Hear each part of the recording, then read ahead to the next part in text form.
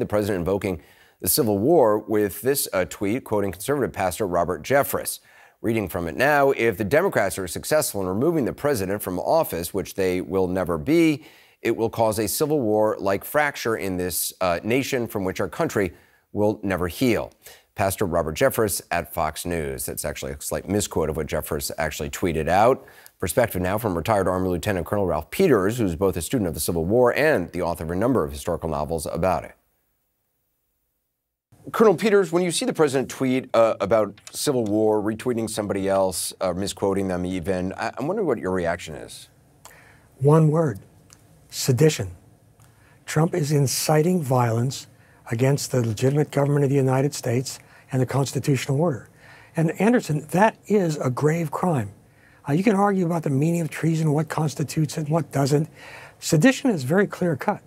And you can ask your lawyers, but to me, this is as, as bald and plain as it could be.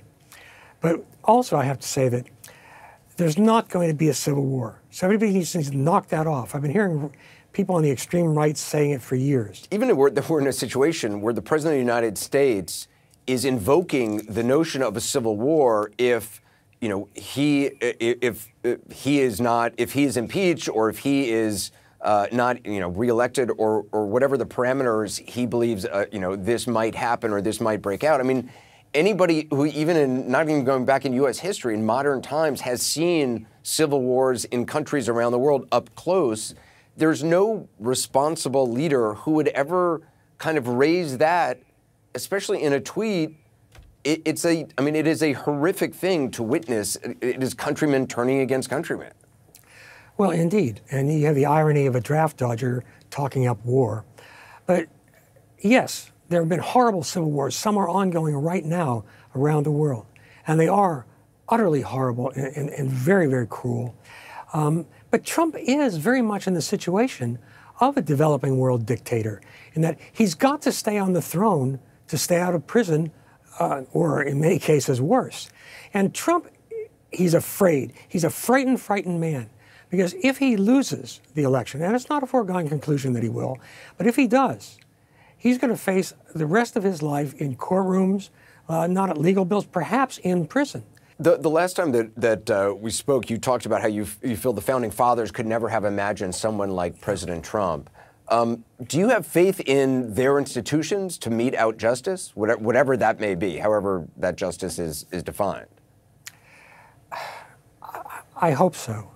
Um, the, the, Republican Party is a, is a terrible disappointment to me. That was always the, the party of law and order, of the Constitution, of patriotism.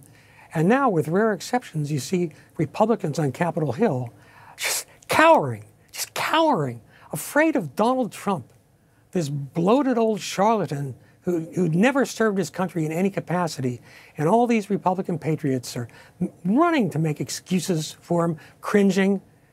And yeah, I know my views are strong on this, but Anderson, I love this country. I don't love it like Donald Trump, just for what I can get. I love this country. It's as good as life gets on this earth. And we are an ungrateful people. And Donald Trump is an, an embarrassment that cannot be measured. With this president, I mean, it's often been said that, that everything is transactional with him. Relationships are transactional. Uh, clearly, foreign policy is. Um, and he you know, he seems to extend what he did in real estate into the Oval Office. You know, Ukraine, it's not a country that is an ally to the United States battling an aggressor to the United States, Russia, and in need of aid. It's uh, a young leader who may be able to bend to the will and, you know, come up with dirt on the Bidens or on Clinton or whoever. Yeah, and you're certainly right. It's Trump is all about Trump is all about Trump. And I really feel sorry for the people who voted for him, who convinced themselves that this man is a patriot. But I also have to say uh, that in defense of Trump's supporters, they were abandoned by both political parties. As the Republican Party became the party of high finance, the Democrats became the party of high society.